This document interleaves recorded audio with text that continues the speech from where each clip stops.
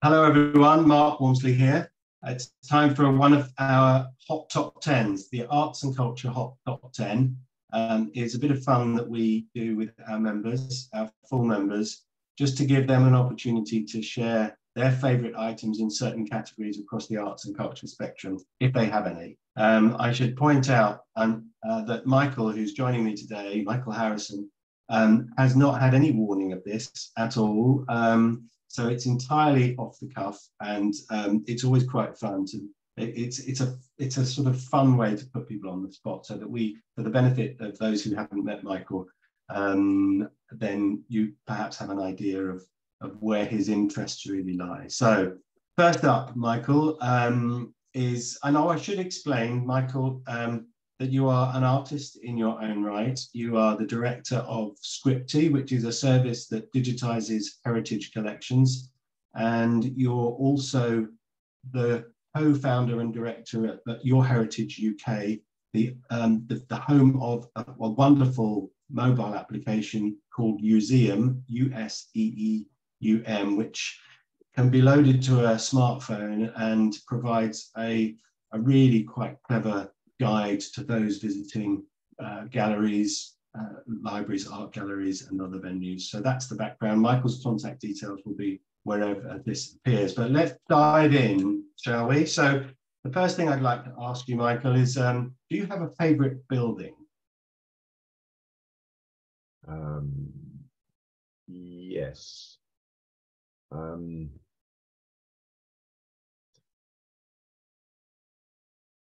I think um, I, I think I'd um, I think I'd go for Canterbury Cathedral.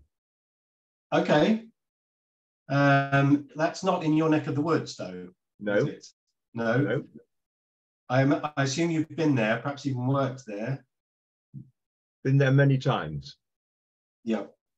Yes. So we'll we'll there'll be a list of the of your answers here that where this appears, so people can go and have a look at the wonders of it. Thank you very much. That's a great start. Um, do you have a favorite book?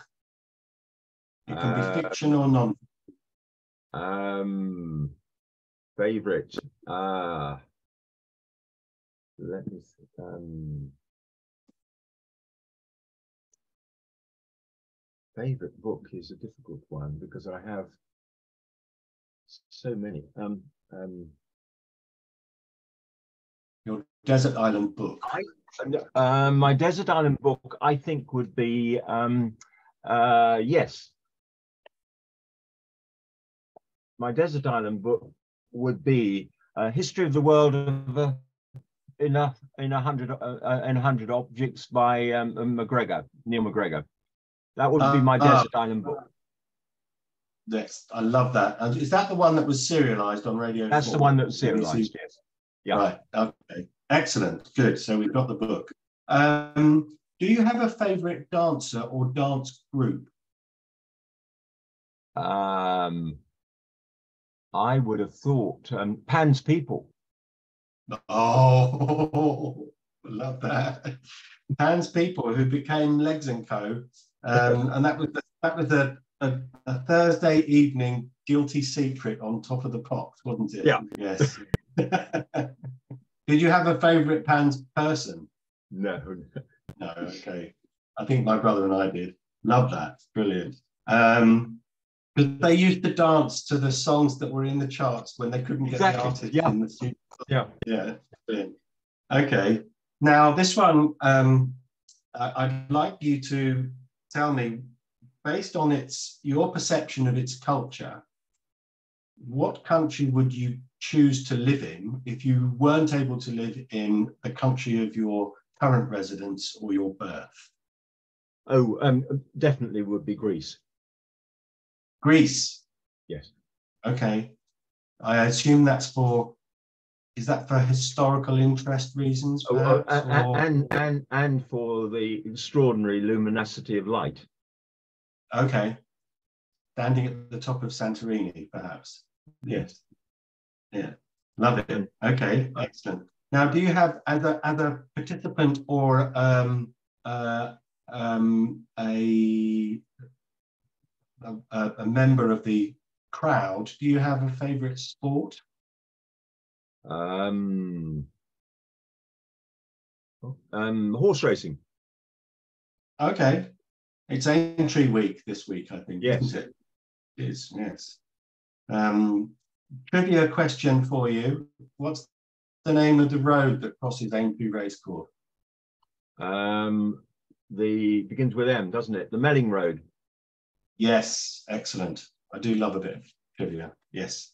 Um, um, next question. Do you have a favorite musical genre? Um, well, I, I'm I'm pri- I'm I'm I'm I'm very Catholic in taste, and I go from right the way across the whole spectrum.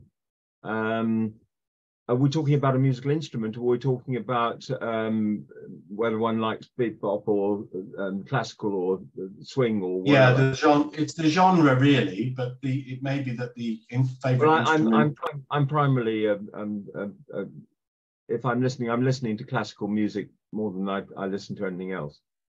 But, Right. but I but I um, but you know I go from um, Bach to the traveling Wilburys really. Brilliant. I love it. My current fascination is the organist Anna Lapwood. I don't know if you're familiar with her. She's absolutely worth a look. Incredible player.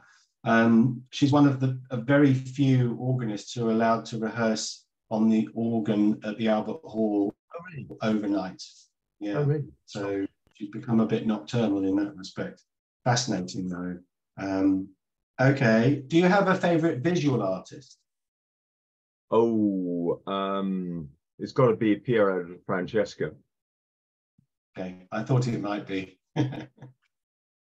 Piero della Francesca. Um, the reason for that is that Michael has done some extraordinary work interpreting the flagellation of Christ, um, which you'll be able to find links to wherever this appears.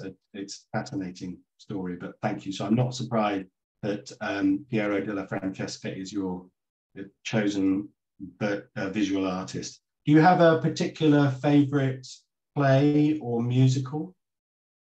Um, it would be.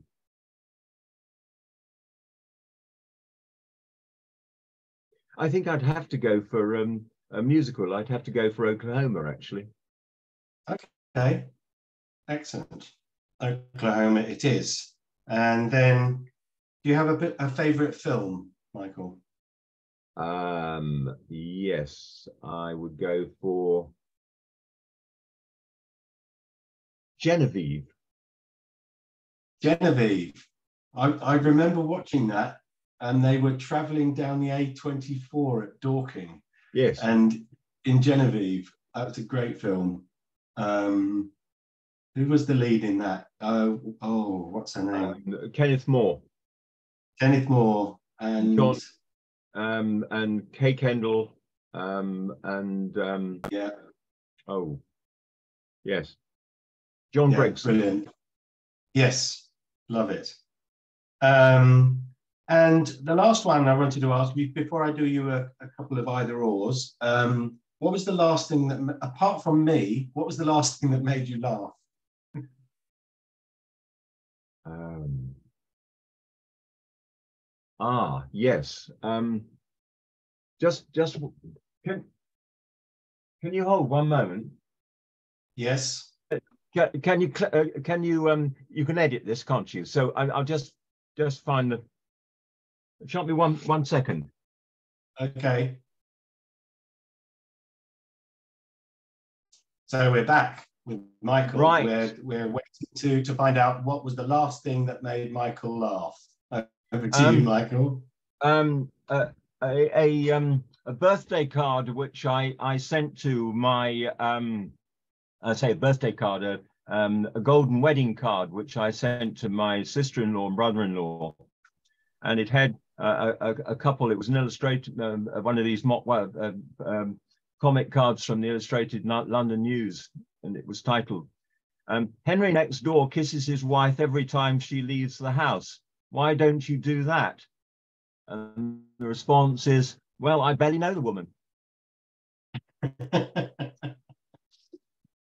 Love it. Love that. Thank you for that. Um, there was an, a, I heard a rather uh, a funny story about this. Two old gentlemen were were um, playing golf, and they were on the, the, the sixth green, which was close to the road.